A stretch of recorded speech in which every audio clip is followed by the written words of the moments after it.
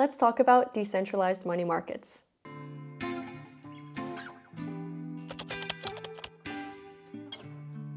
They are a digital evolution of traditional financial platforms, enabling users to lend and borrow cryptocurrencies directly on-chain without intermediaries like banks. These platforms operate on blockchain technology, offering greater accessibility and transparency. Users can secure loans using digital assets as collateral with interest rates influenced by market supply and demand. On Starknet, money market protocols like Nostra, zkLend, Hashstack, and Nimbora have become integral to the DeFi ecosystem, showcasing significant growth and user adoption. The special thing about money market protocols on Starknet as you may have already noticed, is that thanks to multi-calls and native account abstraction, you don't have tedious approval processes. There's only one click and the deal is done with the same or even better security as on L1. Quick definition, a multi-call is a Starknet feature that lets you do several tasks in one go, saving you time and money. It's like making a single phone call to order pizza, pay a bill, and book a ticket all at once, instead of making three separate phone calls. Now let's take a closer look at how the lending and borrowing processes work using money market protocols.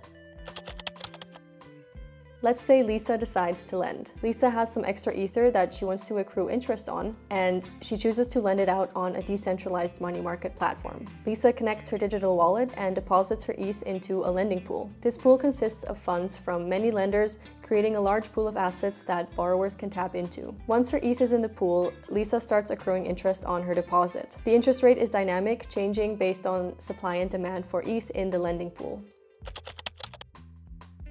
Now, let's say Bob needs a loan. Bob wants to borrow some ETH for a short-term investment. To borrow ETH, Bob needs to provide collateral of higher value than the amount that he wants to borrow. So let's say Bob provides Bitcoin as collateral, ensuring the lender's security. After depositing his Bitcoin as collateral, Bob can borrow ETH from the lending pool. The interest rate he'll pay for the loan is also determined by the current supply and demand for ETH within the platform. Bob uses the borrowed ETH as planned and uses it for whatever floats his boat, and he then repays the ETH loan along with the accrued interest. Once the loan is fully repaid, his Bitcoin collateral is unlocked and returned to him. Now that we know how this works, let's check out how to lend and borrow on Starknet, using Nostra and zkLend as examples. Quick disclaimer, this is not financial advice.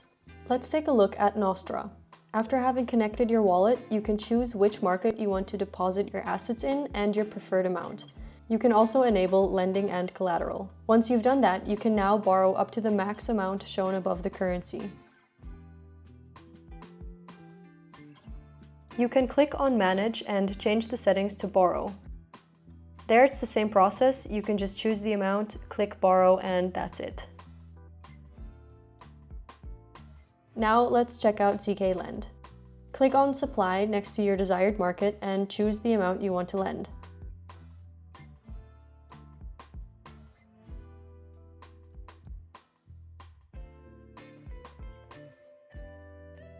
Now you can head to your dashboard where you'll see your supply balance, assets to supply, and also assets to borrow. To borrow, click on the currency you want, choose the amount, and click Borrow.